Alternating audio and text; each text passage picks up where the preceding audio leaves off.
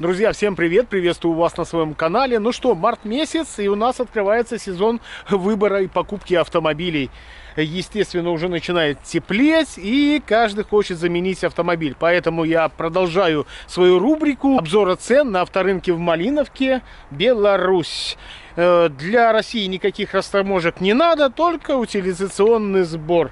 Итак, приступим к обзору цен. Э, кстати, хочу вам сказать, если вы выбираете себе автомобиль Renault, и вы не знаете, оригинальный пробег или нет, на каком пробеге менялся ремень ГРМ, историю обслуживания, многое другое, вы можете ко мне обратиться в социальные сети, я постараюсь вам помочь по автомобилям Renault. Поэтому пишите и обращайтесь. Но мы приступим к обзору цен. Это у нас Renault Captur это, кстати, у нас европейка. 1,5 дизель, 18 -го года механика. Пробег 167 тысяч.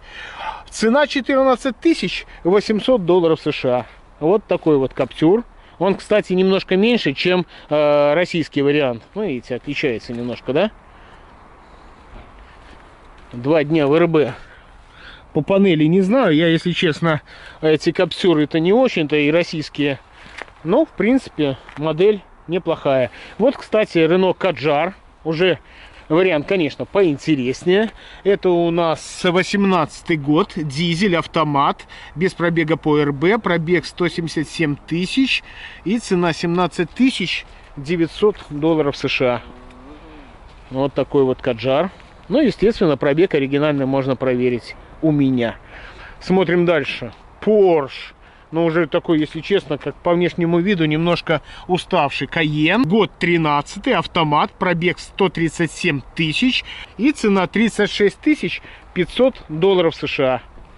Вот такой вот автомобиль. Дальше у нас идет что-то, вот я смотрю, много Рено, да? И сейчас, вы знаете, эти модели очень-то и популярные становятся. У меня у самого Рено Сценик доволен очень. Так, Renault Scenic Grand, дизель 2017 года, автомат, без пробега по РБ. И цена у него 18 500 долларов США. Ну, комплектация хорошая, посмотрите, большая мультимедиа, э, кожаный салон, панорамы нету, электронная панель приборов, заводские шторки, что тоже неплохо. Вот так вот он выглядит. Мне, в принципе, Грант не, не очень нравится за, свой, за счет э, своей задней части, но многим нужен э, большой багажник, и Грант, наоборот, людям нравится. Мне нравится мой сыник Каратыш четвертый, я, в принципе, очень доволен. Как-то так. Ну, кому нужен э, багажник побольше, это, конечно, однозначно надо э, Грант. Дальше идет у нас Volvo XC60 2.0 дизель, 190 лошадиных сил, 2020 года выпуска, автомат iSIN и цена у него 35 750 долларов США. Вот такая вот Volvo.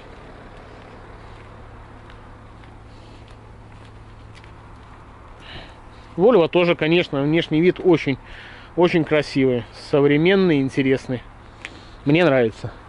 О, Джета. Джета, давайте посмотрим Джета, а что скажут седаны совсем не показываю. Volkswagen Jetta 2022 года выпуска, 1.5 бензин, автомат 40 тысяч км оригинал, цена 24 тысячи 950 долларов США. Вот такой вот автомобиль. Дальше перейдем к универсалу Peugeot, автомат. Это у нас Peugeot 508 2016 года выпуска, 1.6 дизель, автомат iSIN, 195 тысяч километров пробега, 14 тысяч 250 долларов США. Вот такой автомобиль.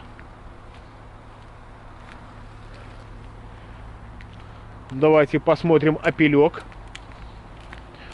Opel Astra K 2019 года выпуска, 172 тысячи километров пробег, автоматическая коробка передач, 1.6 дизель, цена 13 тысяч 950 долларов США.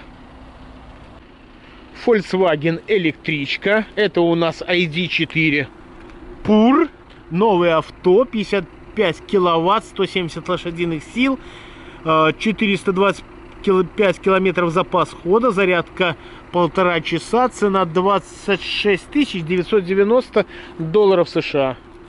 Вот такой автомобильчик. Ох, прямо там коврики, чехлы, все красиво сделано. Вот такой вот аппарат. Еще один представитель Renault, это у нас Renault Espace. Вот, и знаете, Espace мне нравится, вот на будущий автомобиль уже, наверное, поглядываю.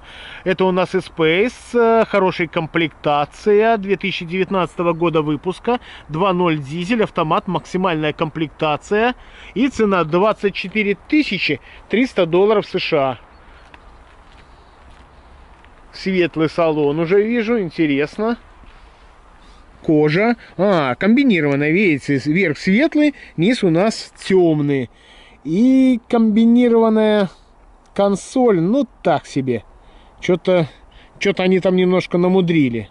Ну, может быть. Но зато вижу и подогрев, и массаж сиденья, подогрев руля, панорамная крыша.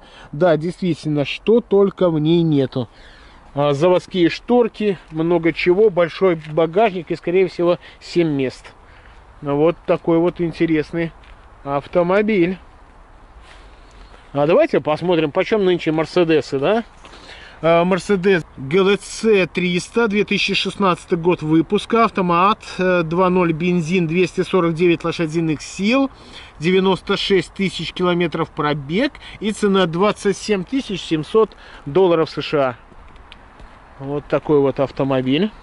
Представитель Peugeot это у нас Peugeot 5008 GT Line 1.5 дизель 2020 года выпуска.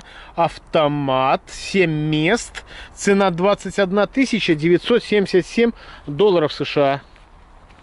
Напомню, что все автомобили растаможены. Внутри очень красиво. Вот Peugeot, ну, молодцы, молодцы. Нравится мне, как делают. Промаркированные стекла от угона тоже, в принципе, такая фишка из Европы может быть. Тоже неплохо. Все стеклышки промаркированы. Вот такой вот вариант. Ford Kuga ST Line 1.5 бензин автомат 2019 года выпуска подключаемый полный привод, 129 тысяч километров пробег и цена 21 тысяча 499 долларов США. Но выглядит так, вы знаете, я даже со стороны подошел, очень так приятно, белый насыщенный цвет такой и достойно смотрится. Интересный вариант. Дальше у нас идет Lexus NX 300H бензин гибрид, автомат 2019 года выпуска, пробег 82 тысячи и цена 33 тысячи 400 долларов США. Вот такой гибрид. Renault Megane 4 2020 года, дизель, 1.5 механика, 131 тысяча километров пробега, 14 750 долларов США. Ну что, друзья, пишите в комментариях, что вы думаете по поводу этих цен. Дорого, дешево. Но мне кажется, цены сейчас почему-то поднимаются. Еще обещают, что утиль сбор поднимется, еще что-то. Поэтому приезжайте за машинами, пока вот такие цены. Ну, я думаю, что всегда на рынке можно поторговаться и цену немножко опускать. Все, друзья, всем до новых встреч. Пока.